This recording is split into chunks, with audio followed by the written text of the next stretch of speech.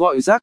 AT&T, Sprint, Mobile và Verizon cùng triển khai công nghệ mới có thể nhận diện và chặn cuộc gọi rác.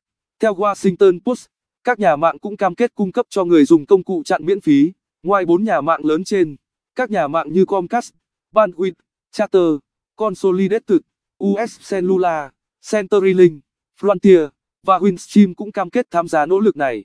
Ủy ban Viễn thông Liên bang Mỹ, FCC, hồi tháng 6 đã cho phép các nhà mạng di động được chặn tự động cuộc gọi rác.